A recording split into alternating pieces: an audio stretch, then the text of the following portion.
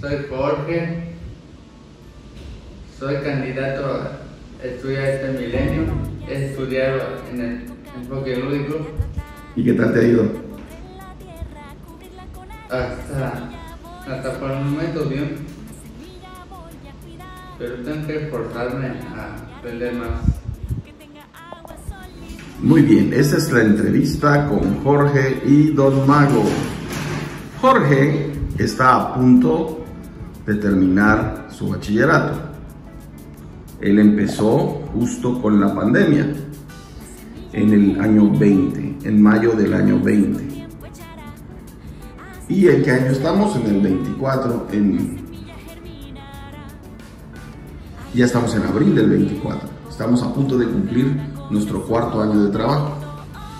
Jorge, como todos los chicos con condiciones neurológicas que se expresan a partir de el cuerpo, la forma de comunicación, la forma de pensar, ha hecho un gran esfuerzo y pues no ha sido un camino sencillito, ha sido un camino que ha tenido tropiezos y algunas dificultades.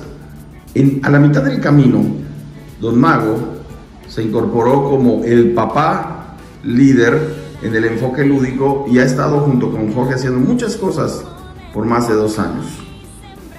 Y entonces ahorita yo quiero pedirle a Jorge primero, en breves palabras, que nos diga en qué ha mejorado estos años aparte de haber obtenido su bachillerato. Y después vamos a confrontar qué tanto es suficiente lo que dice Jorge o se quedó corto con lo que declara.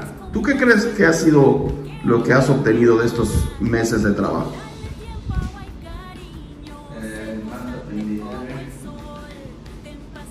Más control de letra, Ah, sí, cierto. más habilidades para escribir,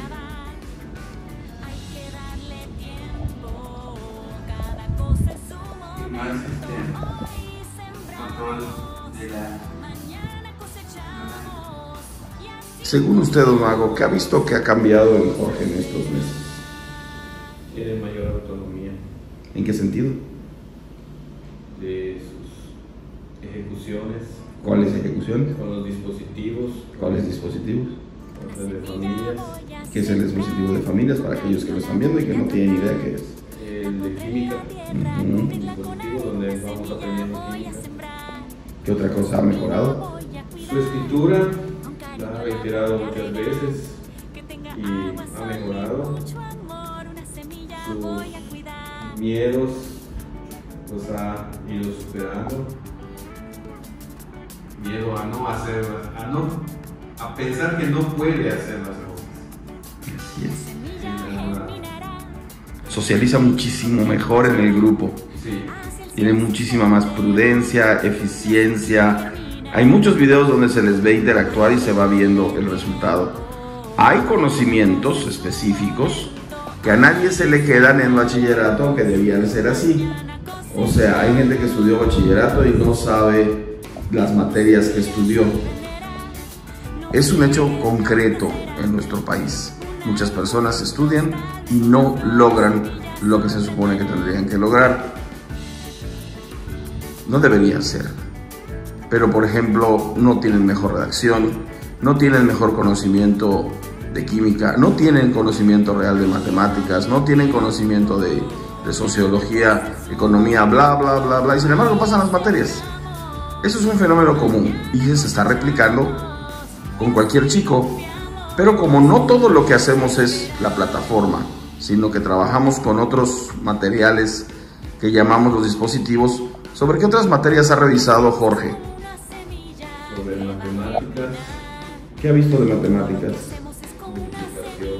¿Qué más? ¿Qué otras materias visto? la de química, este, lógica, Lógica, silogismos, ¿qué más visto?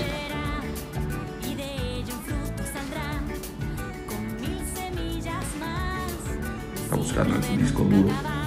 ¿Qué tal ha estado ha visto algo de pastoral social aquí para cuestiones de, de su socialización afuera con su religión, se hizo algún estudio de su personalidad. Hay muchísimas cosas que ha hecho Jorge que a lo mejor no son conocidas por los demás, a lo mejor no, no hemos este, reflexionado lo suficiente en el manejo de cada una de esas cosas que ha ido estudiando Jorge. Jorge, ¿cómo te sientes para la universidad?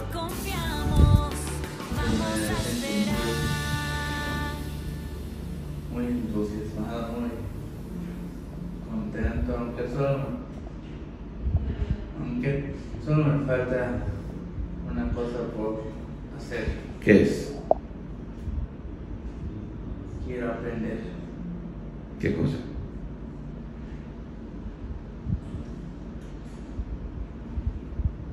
Y quiero decir cómo voy a ir a, la universidad si no, casi no practico la lectura, Bueno, podemos dedicarnos a eso en el tiempo en lo que tú entras a la universidad después de que hayas terminado tus materias en las cuales sí tienes que leer, que es lo que haces en la plataforma. ¿Sale?